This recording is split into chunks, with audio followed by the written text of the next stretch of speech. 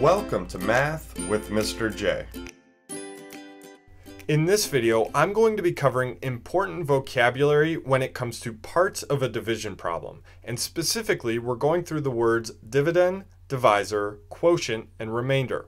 We'll go through two examples here and talk about what each of those words mean. So let's jump right into number one, where we have 17 divided by 2 equals 8 remainder 1. Now the 17 there is being divided or split up. So whatever number is being divided or split up, that's what we call our dividend.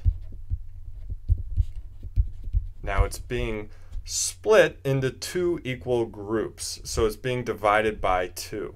So whatever we are dividing by, that is our divisor.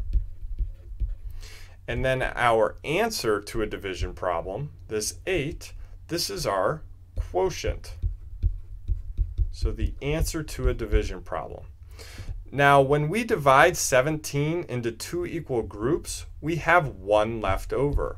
So this is our remainder.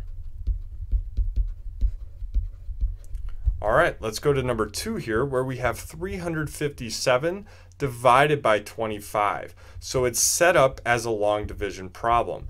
Now I'm going to set it up like number one. It would actually look like this, 357 divided by 25. So the 357, this is our dividend.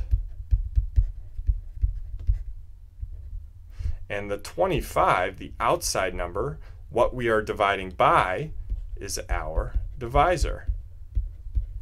This 14, this is our quotient, and we have 7 left over, so that is our remainder.